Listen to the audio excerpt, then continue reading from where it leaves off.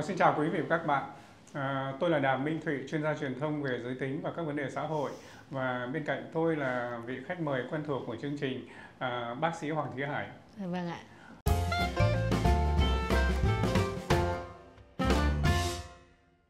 Hôm nay à, chúng tôi sẽ nói chuyện về một chủ đề mà có thể là ngay từ khi còn rất trẻ các bạn đã biết rồi nhưng mà ừ, biết để đúng thì chưa chắc ạ.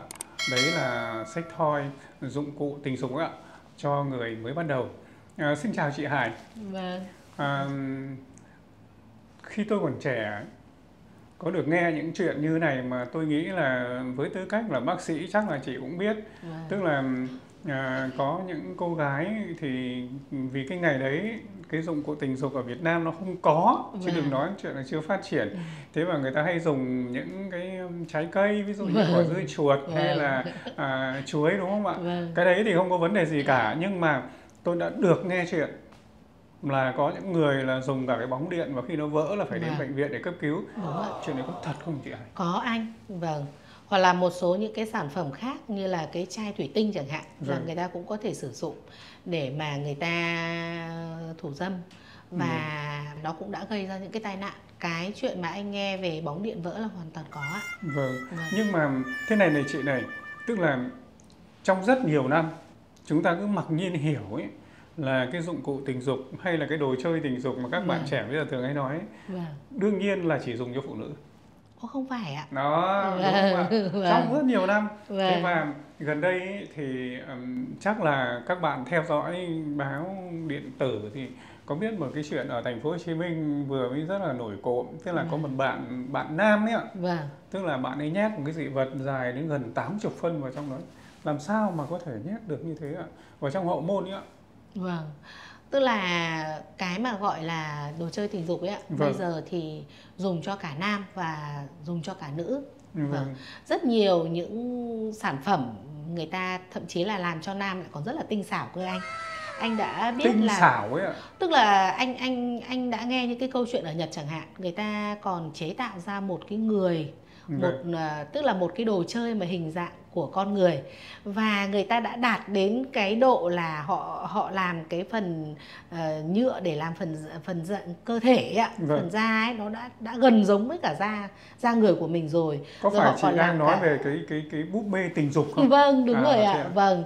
Rồi cả thậm chí là cả màu mắt này Rồi màu da Họ làm những cái kích thước của cơ thể Ở những cái kích thước chuẩn tương đương. để có thể mang lại những cái cảm xúc cho người sử dụng và Vâng. và đúng em cũng đã từng nghe rồi có những người còn yêu thích búp bê tình dục đến mức độ còn làm đám cưới với búp bê tình dục tức là họ sống với cả một cái ảo như thế chứ họ Vâng. cũng không muốn là hôn nhân họ không muốn kết hôn với cả một người thực để Vâng. mình có thấy thể thấy rằng là cái mà mình gọi là đồ chơi tình dục bây giờ nó rất là đa dạng vâng và nó đáp ứng được đầy đủ mọi yêu cầu cũng như là mọi lứa tuổi, mọi mong muốn của người sử dụng. Vâng Vâng. Vì thế mà cái mà chúng ta muốn chia sẻ ở đây ý, là ừm, cho dù nó rộng rãi đến mấy đi chăng nữa thì chúng ta sử dụng nó như thế nào để cho nó an toàn và nó vẫn đảm bảo được cái phần tiêu chí về mặt sức khỏe thì đấy là cái mà mình nên bàn để mà đáp ứng được cái ờ, sử dụng Vâng. hiện nay. vâng chị Hải ạ tức là nhưng mà trước khi nói đến cái chuyện nó làm như thế nào thì Vâng. xin bác sĩ tức là có rất nhiều bạn của của tôi ấy, người thì Vâng. email người thì gọi điện và thậm chí có cả bạn comment trên kênh của mình đấy thôi Vâng. có nghĩa là có nhất thiết phải là một ông đàn ông yếu không làm được chuyện đấy nữa hoặc làm chuyện đấy ví dụ như người khác người bình thường người ta làm được 100% ông chỉ làm được có 30% thôi Vâng. thì ông thay toàn bộ ông bằng cái đấy không ạ? Ờ, ý anh nói ở đây là ông Chỉ những người yếu mới dùng thôi. Có phải thế không? không phải ạ À, hoàn toàn không phải là như vậy ạ vâng. vâng ờ, ở đây ờ, em đang hiểu ý của anh Thụy là anh ý không phục vụ được cho người khác Đúng. vì anh ý không đủ khả năng và bạn tình hoặc là vợ của anh ý không đạt được cái như mong muốn cho nên anh ý dùng dụng cụ hỗ trợ Đúng rồi ạ. để mà Thay tăng mình. thêm vâng đấy thay mình đúng ạ ý Vâng. anh là như thế thì trong khi đó thì lại ngược lại là có những người thậm chí có thể là vì một lý do nào đấy người ta không muốn quan hệ tình dục thực sự với với bạn hoặc là với đối tác thực sự mà người ta lại sử dụng cái dụng cụ tình dục đấy để thỏa mãn cái nhu cầu tình dục của người ta của Vâng. bản thân cái đối tượng sử dụng thế ạ vâng ví dụ như là có những người vì một lý do nào đấy người ta không thể thực hiện được cái việc quan hệ tình dục với người thật ấy ạ. Vâng. với đối tác thật. Thì người ta nếu mà là nam người ta có thể mua những cái dụng cụ tình dục có hình âm đạo chẳng hạn ví dụ Vâng. thế.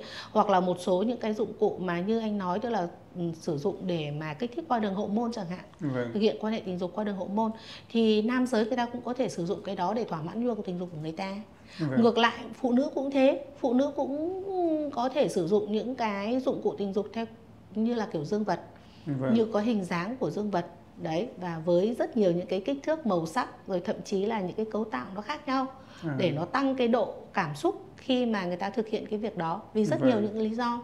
Vâng ừ. cái đấy là có mà anh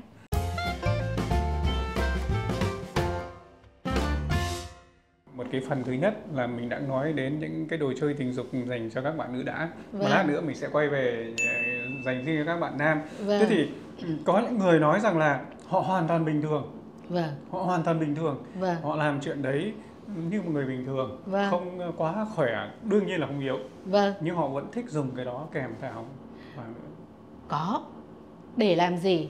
Tạo cảm giác mới lạ cho bạn tình của họ à. Bởi vì là rất quan ờ, trọng. bởi vì là cái ờ, ừm, đồ chơi tình dục đấy vâng nó nó có những cái độ dung và nó có nhiều những cái ờ, người mình có thể gọi thêm là những cái phụ kiện.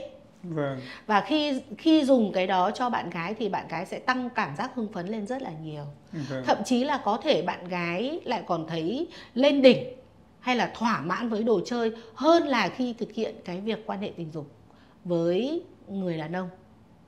Cái đấy là có ạ. Vâng. Vâng. Chính vì thế tôi cũng nghe thấy một số người đàn ông họ chủ động tìm kiếm cái đồ chơi tình dục đấy và làm quà tặng cho vợ hoặc là bạn tình của mình. À, à, chị Hải, à, xin phép à, quý vị và các bạn và chị Vâng. Hải xin phép được một hai phút để kể câu chuyện như thế này. Tức là trong một lần đi công tác sang Thái Lan ấy, theo Vâng. lời mời của TT thì tôi ờ, khi đến gọi trang ấy thì tôi có gặp một cái một cái cặp vợ chồng hay tình nhân thì mình cũng không Vâng. tiện hỏi ấy. vâng Thế nhưng mà anh ấy thì tên tiếng Việt của anh ấy là Quang. Anh ấy nói Vâng rằng là anh cứ gọi em là Quang. Đấy là tên tiếng Việt. Nhưng mà Vâng. sinh ở Thái, nói tiếng Thái vâng nhưng nói tiếng Việt gần như là mình luôn vâng thì anh ấy nói rằng là em thường xuyên mua cái đấy để tặng bạn em vâng tôi rất ngạc nhiên Vâng. vậy lúc nào thì à, anh ấy có kể chuyện rằng ví dụ như sinh nhật hay là nhân một chuyến đi công tác của bạn em Vâng. hoặc là bạn em đi nghỉ với công ty em mà em thì lại không đi Vâng. thì thường là em sẽ nhắc nhở bạn em mang theo hoặc là nếu thiếu cái gì đấy thì mình tặng và cảm thấy Vâng. rất là vui Vâng. cũng như tặng một chai nước hoa nhỏ hay là đôi dép hay là cái túi gì đó thôi Vâng. Ờ, chị có nghe thấy ở Việt Nam mình có ai tặng nhau cái đó không chị à? Ờ, em thấy có rồi ạ? Có vâng tất nhiên là nó rất là kín đáo và nó Vâng. hoàn toàn là phần riêng tư của hai người thôi bởi vì Vâng. cái đấy nó phụ thuộc vào sở thích của hai người đấy không không phải là một cái quà tặng thông thường không như là một cái bó hoa mà mình có thể đi mua về mình tặng Vâng. bởi vì quan trọng nhất phải là cái người mà được tặng ấy người ta thích sử dụng cái đó hoặc người ta Vâng. muốn sử dụng cái đó thì người ta mới nhận cái quà tặng đấy Vâng. vì thế trước khi mà mình ờ, sử dụng cái đồ chơi đấy Vâng. cho một người khác ngoài mình ý thì việc đầu tiên phải là người ta cũng mong muốn sử dụng cái đó hoặc kể cả là tò mò hay kể cả là ham thích đi chăng nữa nhưng cái chính là người ta phải muốn sử dụng cái đồ đó thì mới có thể hoặc là ờm, tạo cái cơ hội để cho người ta sử dụng có thể những người sử dụng lần đầu người ta cũng chưa biết là cái tác dụng của nó nó như thế nào hoặc Vâng. là những cái lợi ích mà nó mang lại cho chính bản thân cái người đó ra làm sao nhưng quan trọng nhất là người ta phải sẵn sàng để trải nghiệm Vâng. cái việc đó thì mình mới có thể là mình mình mình mình tiếp tục sử dụng cho những lần sau hoặc là mới có thể biến thành quà tặng còn Ừ. nếu như mà ngay lần đầu em không thích hoặc là em không muốn sử dụng hoặc là em không có thiện cảm với cái sản phẩm đấy chẳng hạn ví dụ Vâng. như thế thì cái yếu tố tâm lý nó rất là quan trọng anh ạ nếu tâm lý mà mình không không cảm thấy thoải mái mình không sử dụng được đâu và nó có thể gây ra những cái tai nạn hoặc là những cái chấn thương vì thế mà việc sử dụng cái đồ chơi này á là nó phải phụ thuộc vào ý muốn của hai người rất là quan trọng vâng Vâng. tôi có nghe thấy là như thế này có một lần đi ờ, có một lần đi công tác ở Trung Quốc thì Vâng. các bạn ấy có dẫn các bạn người Trung Quốc ấy các vâng bạn có dẫn đến một cái cửa hàng gọi là sách toy ở Bắc Kinh. Vâng. Khi đấy thì Bắc Kinh chưa được bán một cách rộng rãi Vâng. nhưng họ được phép bán ở những cái cửa hàng chuyên biệt vâng. nghĩa là công khai. Đúng rồi. Nhưng mà lứa tuổi nào những người nào và có một số những điều kiện quản lý đặc biệt. Vâng. thế thì khi đến đấy thì cái, ờ, chúng tôi cũng nói rằng là mình cũng không dám chắc là đối tác của mình người ta có thích cái đó không? Có vâng. những người người ta không thích. Vâng. Chưa kể một lát nữa thì tôi sẽ hỏi với chị là, có những người thích nhưng không dùng được vâng. Đấy thế thì làm thế nào? Thì các bạn Trung Quốc có khuyên là ở Trung Quốc ấy có hai sản phẩm rất nổi tiếng mà thế giới đều biết nói vui vui thôi ạ. Thứ nhất là con gấu trúc và thứ Vâng. hai là cô diễn viên Lưu Hữu Khánh. Vâng. Đấy tức là một cái câu nói vui thôi. Vâng. nhưng mà Trung Quốc có hai báu vật quốc gia là Lưu Hữu Khánh và con gấu và con Vâng. gấu trúc. Vâng. Thế thì cái con gấu trúc ấy thì nó rất là xinh tươi và rất là đặc biệt. Nhưng mà cái dốt nhất của nó ấy là làm chuyện này. Vâng. Và nó nuôi con nó vụng lắm. Vâng. Thế thì để làm được việc đấy thì ờ, những cái nhân viên ở các cái vườn mà nuôi gấu trúc ấy trước cái mùa mùa động dục ấy Ừ. thì họ ừm, quay cái video và họ cho nó xem. Vâng. Cho xem hai cái là làm chuyện đấy thế nào. Vâng. Thứ hai nữa là khi mà Cho con gấu trúc xem. đúng rồi thì Chăm thì- con như nào? thì nó chăm con thế nào? Vâng. Đấy thế và ừm, nếu như là ừm, ừm, mình cảm thấy khó nói với đối tác của mình Vâng. nhưng bắt buộc phải nói vâng. thì tốt nhất là học con gấu trúc. Tức là cho cô ấy xem một cái video. Ok à, xin cảm ơn chị Hải. Vâng. Bây giờ thì quay về một phạm vi nữa của của ờ, của đồ chơi tình dục. Tức là chúng ta nói từ đầu đến giờ thì hầu hết là những cái đồ chơi dành cho cô ấy chị Vâng. cũng biết là trên các website bán thì người ta hay phân ra mục là dùng cho cô ấy xong dùng Vâng. cho anh ấy xong dùng cho cặp đôi vân Vâng, vân vâng. và những cái khác nữa Vâng. đúng không ạ thế nhưng mà như này ạ tôi có cảm giác là có lẽ là cái khoa học ấy về đồ chơi tình dục ấy cơ bản dành cho phụ nữ thôi chứ Vâng. những sản phẩm của đàn ông hơi ít đúng không ạ? Không phải thế ạ vâng. Thế chẳng qua là tất cả nó là do nhu cầu thôi mà. Vâng. Vâng Ờ, đàn ông thì eh, thường họ dễ tìm kiếm các cái nguồn để mà thỏa mãn cái nhu cầu của họ hơn. Ví dụ Vâng. tôi nói là có thể là có những cái quan hệ tình dục khác ngoài vợ ngoài chồng ví dụ như Vâng. vậy.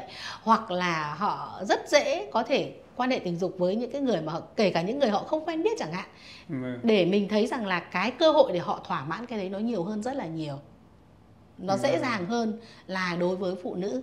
Chị Chính- nói thế xin lỗi chị Hải chị nói Vâng. thế có nghĩa là một cái bản năng thì của đàn ông vẫn là hơn của phụ nữ đúng không ạ? Nó hoàn toàn cũng không không đến nỗi là như thế nhưng mà đấy là cái đặc trưng về giới. À. Cái mà để cái cơ hội thỏa mãn tình dục ở phụ ở nam giới kể cả về mặt xã hội vâng. kể cả về mặt quan niệm cũng được cởi mở hơn rộng rãi hơn và người ta dễ thực hiện cái hành vi đấy để thỏa mãn cái nhu cầu của người ta hơn Vâng. là so với cái người phụ nữ chính vì thế là ở một số những trường hợp đặc biệt và bây giờ ấy tại thời điểm bây giờ ấy khi mà người ta quan tâm đến cảm xúc của mình nhiều hơn rồi ờ, khi mà những cái môi trường về yếu tố bệnh tật yếu tố tất cả các yếu tố khác trong đấy có những cái giá trị về đạo đức nếu người ta mà đặt lên cao hơn thì cái việc sử dụng đồ chơi tình dục sẽ được nhiều hơn rất là nhiều anh ạ Vâng. nó cũng là một cái phương thức để thỏa mãn cái nhu cầu tình dục thôi mà Chị Hải ạ, với tư cách là bác sĩ trong lĩnh vực này ấy,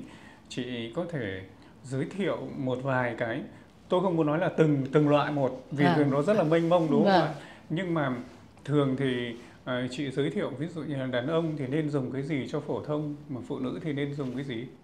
Ờm, thực ra thì mỗi một người sẽ tôi nghĩ là khi mà mình có nhu cầu thì mình có thể tìm kiếm thông tin ở trên mạng xã hội rất là nhiều Vâng. nhưng mà cái quan trọng ấy là mình lựa chọn được cái nó phù hợp với mình anh công nhận không ạ Vâng. Vâng.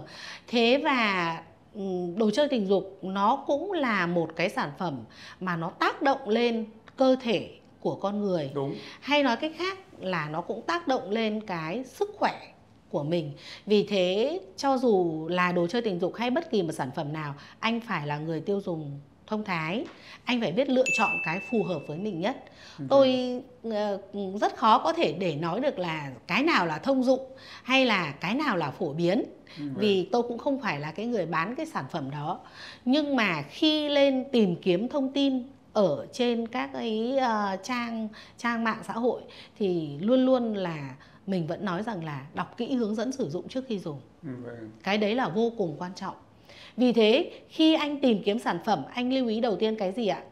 Là thứ nhất là cái nguyên liệu làm ra cái sản phẩm đấy.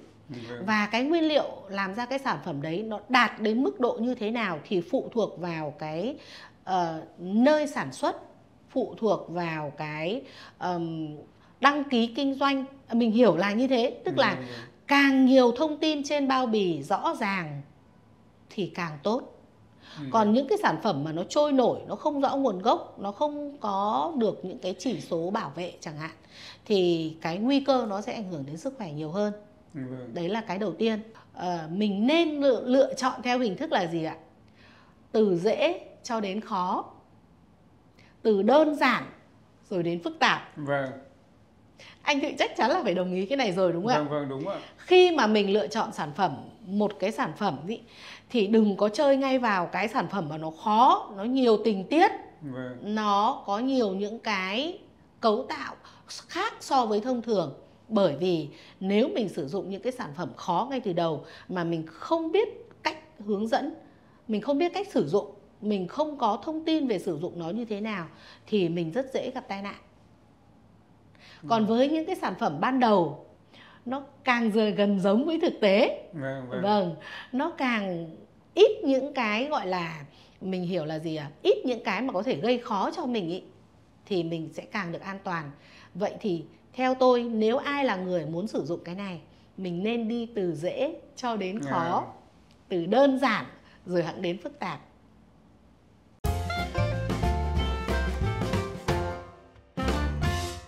Còn một câu hỏi nữa là thế này ạ, tức là có những loại đồ chơi tình dục ấy mà chúng ta à, đã từng nói, ví dụ hôm trước thì tôi với chị đã nói chuyện với nhau về bao cao su Vâng. có gai. vâng Thế mà lâu hơn nữa thì có một video ở trên kênh của chúng tôi là dùng đồ chơi như thế nào cho đúng cách thì vâng xin các bạn hãy à, tra lại cái từ khóa đấy và có thể xem trên video được. Nhưng bây giờ thì có một câu hỏi như thế này nữa thôi ạ. Tức là cũng là một loại đồ chơi tình dục. vâng Thế nhưng mà những cái viên bi ý, vâng. kiểu như là cái bao có gai ấy, vâng. nhưng người ta cấy thẳng vào cái cái cái dương vật. Vâng, vâng. Cái cấy cái, cái dương vật ấy. Chị đã từng gặp trường hợp như nào thấy và lời khuyên của chị như thế nào về việc đấy? tôi thì um, khi mà tôi đi học ở trường y á Vâng. thì chúng tôi cũng đã gặp những cái trường hợp đấy rồi. Nhưng mà lúc đấy họ vào không phải để cấy mà họ vào để mà họ lấy ra. À, và họ ờ, tức là khi mà họ cấy vào như thế sau đó họ sử dụng thì nó có vấn đề cho nên họ phải đến họ giải quyết vấn đề. Thì chúng tôi lại gặp cái trường hợp như thế. Vâng, cho nên tôi mới biết. Thực ra thì cái mà mình đưa thêm những cái sản phẩm khác vào cơ thể của mình ý và đặc, ở đây lại là đưa vào dương vật là một cái cơ quan nó vô cùng là nhạy cảm. Khi mà nó thay đổi kích thước của nó thì rất là khác so với cả ban đầu. Chính vì thế mà khi mình thực hiện cái việc là mình can thiệp vào dương vật vâng. mình đưa những cái lạ vào thực sự là ở đây tôi thấy là các anh ấy chủ yếu là để phục vụ cho chị em thôi. Đúng ạ. vâng. Ờ, cái này hoàn toàn không phải là để có lợi gì cho các anh ấy đâu. Vâng thậm chí là nó còn gây nguy hiểm cho các anh ấy Nhưng mà với tư cách là Nhưng mà vì- thì chị cũng không thích đúng không ạ? tôi đã thấy nhưng nhiều mà chị em không thích. vâng tại vì là ờ, các anh ấy làm là để muốn phục vụ cho chị em muốn mang lại cảm giác mới lạ cho chị em vâng tất nhiên là anh ấy cũng sẽ tìm được những cái đối tác mà thích những cái cảm giác đấy để thực hiện việc đấy nhưng mà tôi thì tôi rất thành thật khuyên là những bạn nào khi mà đã cấy vào đấy rồi thì tôi rất đồng ý với anh là không phải là bạn gái nào cũng thích Đúng cái cái đó đâu. Vâng thậm chí là có những bạn gái mà người ta truyền thống hoặc là những cái bạn gái mà người ta không cởi mở lắm ý thì người ta lại từ những cái đó người ta lại còn đánh giá về con người cơ. Người ta lại còn Liên gán đến- cho rất nhiều những cái chụp cho rất nhiều những cái mũ khác. Vâng. khi mà người ta nhìn thấy như thế tôi đã nghe thấy rất nhiều bạn là khi thấy bạn trai như thế thì bảo rồi ôi khiếp ăn chơi xa đọa rồi là Biến thế thái. nọ. Vâng biến không phải nói là biến thái nhưng mà bảo ờ, ăn chơi lắm rồi vân vân vân vân. Tức là sẽ chụp cho họ rất nhiều cái mũ. Mặc dù là cái việc đấy là để phục vụ chị em là Vâng. chính tuy nhiên mình cũng phải nên hết sức là thận trọng và cân nhắc khi mà mình thực hiện những cái thủ thuật như vậy Vâng. Vâng, vâng. Còn việc mang lại cái cảm xúc tình dục cho nhau ấy thì ở bất kỳ lứa tuổi nào cũng đều là những cái mong muốn rất là chính đáng anh ạ. Vâng. Và đều là những cái nhu cầu mà mọi người đều có. Có điều là khi mình chọn những cái ờm, sản phẩm hay là mình chọn những cái phương thức để mang lại cái cảm xúc tình dục cho nhau đấy tôi nghĩ rằng quan trọng nhất là chúng ta vẫn yêu thương nhau chúng ta vẫn tôn trọng nhau thì cái thể hiện tình yêu của chúng ta nó cũng sẽ mang lại những cái thoải mái cho cả hai bên thôi. Chứ còn việc mà sử dụng những cái sản phẩm khác đặc biệt mà mình gọi là đồ chơi tình dục là phải hết sức cân nhắc và có kiến thức. Vâng. vâng À, xin cảm ơn chị Hải. vâng À, xin à, quý vị và các bạn đã à, đã theo dõi video của chúng tôi từ đầu đến giờ. Có nghĩa là à, đồ chơi tình dục ấy bây giờ thì đã rất là phát triển so với trước đây rồi. Thế mà khi dùng ấy, thì các bạn hãy lưu ý là điều đầu tiên như bác sĩ Hoàng Thúy Hải vừa khuyên chúng ta là chất lượng vâng phải quan tâm. Thứ hai là đọc kỹ hướng dẫn sử dụng trước khi dùng. Thế và từ dễ đến khó Vâng. ờ, những trải nghiệm dần dần. Còn lời khuyên của chị Hải thì nếu các bạn muốn ờ, rất nên thử. Còn có phù hợp hay không thì phải thử mới biết. Nhưng điều quan trọng nhất là chúng ta hãy làm như sau ạ. Một là chất lượng, hai là từ dễ đến khó, Vâng. ba là phải trao đổi kỹ với đối tác của mình vâng và phải chắc chắn rằng hai bạn đều thích muốn được trải nghiệm. À, xin cảm ơn quý vị và các bạn đã theo dõi video của chúng tôi đến đây. Xin chào tạm biệt và hẹn gặp lại. you